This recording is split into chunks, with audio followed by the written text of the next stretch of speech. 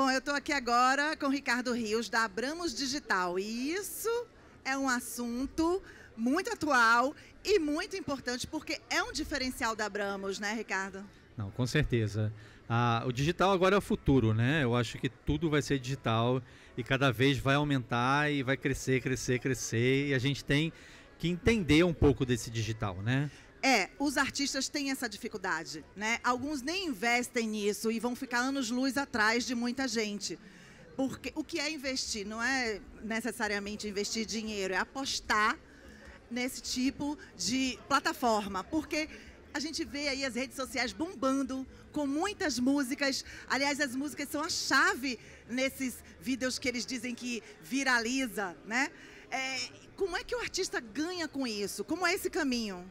É, isso é muito boa a tua pergunta, porque assim, as pessoas hoje se preocupam muito em postar a música lá, né, pra música ficar bonita, o clipe, em fazer um clipe bonito, uma roupa legal.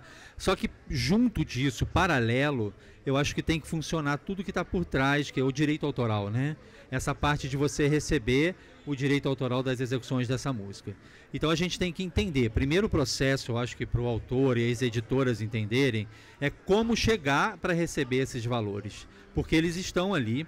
Existem valores que vão ser distribuídos para a agregadora, existem valores que vão ser distribuídos pelo ECAD, pela execução pública, e sai pela Abramos, e tem o valor também que é distribuído pela Abramos Digital. Então é extremamente importante isso, né, saber essa diferença e o porquê que você está fazendo o fechamento desse contrato com a Abramos Digital. A Abramos Digital ela foi criada justamente para cuidar desse desse diferencial do mercado, né? Porque é um direito de reprodução, não é um direito de execução pública. Então a gente precisa entender essa diferença e você sabendo que isso ali existe, é você correr atrás e saber como é que você vai receber isso, né? Uhum. E isso existe, é, esse controle por parte de vocês? É isso? Como é que funciona, por exemplo? É uma editora que assina com vocês? Como que se dá o artista que quer entender um pouco mais sobre isso? Quem que ele tem que acionar? É, a Abrão Digital, ela trabalha só com editoras. Tá? Então tem que ser uma editora para estar tá afiliada a Abramos. A gente vai fechar um contrato. Quem está associado a Abramos, né, associação, e quer fechar com a Abramos Digital, precisa procurar a Abramos Digital. Não é a, a, um processo que está paralelo ali, né? Porque como são direitos diferentes, precisa que seja feito um contrato com a Abramos Digital para que a gente possa começar a recolher essas suas obras. Então, fechando um contrato com a gente, precisa ser uma editora, precisa ser uma pessoa jurídica para isso, e assim a gente representa todas as músicas que estão naquela editora, sendo representadas pelaquela editora. A Abramos Digital passa a representar essas músicas para poder fazer o recolhimento nas plataformas digitais, porque a gente já tem esse contrato com as plataformas.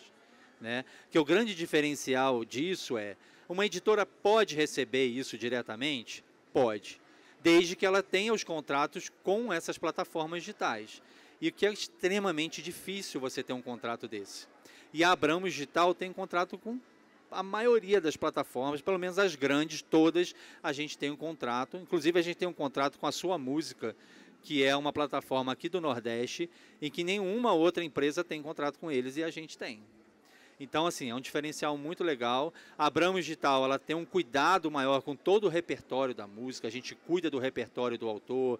Se a música entra em duplicidade, a gente cuida da duplicidade desses, dessas músicas que estão ali. Então, é cuidar e fazer a gestão das músicas dessas editoras junto às plataformas digitais. Então, assim, o cuidado que a Abramos já vem há anos fazendo com todo o repertório das pessoas que são filiadas a ela, há anos que a Abramos já vem cuidando de todo o repertório da, da, dos seus titulares. E a Abramos Digital entra no mercado para cuidar do repertório, né? Porque a gente entende que a música é um produto, é um produto do autor, representado ali pela sua editora, e a Abramos Digital cuida disso como se fosse parte daquela família mesmo, sabe? Para cuidar, para representar a música e defender as músicas nas plataformas digitais. Então a gente entra, vai estar tá informando essas músicas para a Backoffice, que é uma empresa que fica entre as plataformas digitais e as editoras, e a gente faz todo esse controle das músicas para poder fazer a arrecadação desses valores da plataforma. As plataformas pagam direto para a Abramos Digital e a gente repassa para as editoras que vão repassar para os seus autores. Né? É claro que a gente vai dar todo o apoio, toda a assessoria, tudo que é importante para a editora, pode confiar na gente lá que a gente vai passar toda essa informação e dar todo o suporte que eles precisam, né? Agora, uma curiosidade aqui minha de leiga, né, nesse tipo de negócio. É, tem fronteiras porque, por exemplo, a gente citou algumas plataformas, a gente conhece algumas, né? Como, é, enfim, posso falar aqui, né? Spotify, até o próprio YouTube com Sim. audiovisual, é, e tantas outras, Deezer, enfim. É, existe, por exemplo, como vocês monitorarem, mesmo sendo alguém utilizando isso digitalmente no exterior, já que a plataforma é internacional? Sim. A Abramos Digital representa as nossas editoras, e isso é questão de contrato, né? Você decide se você quer ou não. A gente pode representar a nível Brasil e pode representar o mundo todo. Então a gente tem contratos aí para representar as músicas no, no, mundo inteiro. Então, assim, a Abrão Digital está muito, tá muito segura do trabalho. A gente hoje representa em torno de 9 milhões de músicas nas plataformas. Então a gente tem bastante editora legal, bacana, editoras grandes, editoras pequenas. O nosso, o nosso, a nossa função, acho que da Abrão Digital, é, cuidar da, da, fazer com que os autores consigam receber esses valores das plataformas, né? Porque nem todo autor tem uma editora grande que vai conseguir fechar um contrato com essas plataformas, mas a Abrão Digital está ali para defender esses autores, pequeno ou grande, isso é indiferente para a gente, né? Porque música é um produto e qualquer produto para a gente, a música é importante. Então a gente defende ela com a mesma garra, entendeu? Show, Ricardo. Sim, então qual o caminho das pedras? A editora que quer é, usar a Abramos Digital para fazer essa interface? Bom, como a gente está aqui hoje em Salvador, eu até agradeço aí ao Portela o convite para a gente estar tá aqui. Se a gente está presente aqui para atender as, as, nossas editoras aqui de Salvador. Estamos nesse evento maravilhoso da Expo Carnaval, show de bola.